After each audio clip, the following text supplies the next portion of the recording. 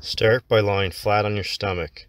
Adjust the roller pad so that it rests comfortably a few inches under your calves, just above the heels. Make sure the pads aren't too high up on your calves, for this can reduce your range of motion. Stretch your legs out fully.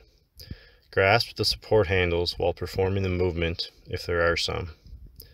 Lift your feet smoothly as you exhale, keeping your hips firmly on the bench.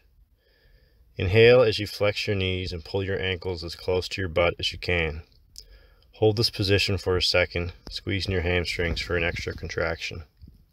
Inhale fully as you return your feet to the starting position in a smooth, slow, controlled movement. Just like with leg extension, make sure not to bounce the weight at the bottom and do all reps with control.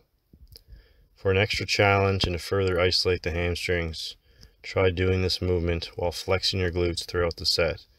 This will prevent the glutes from assisting with the lift and make the hamstrings work harder.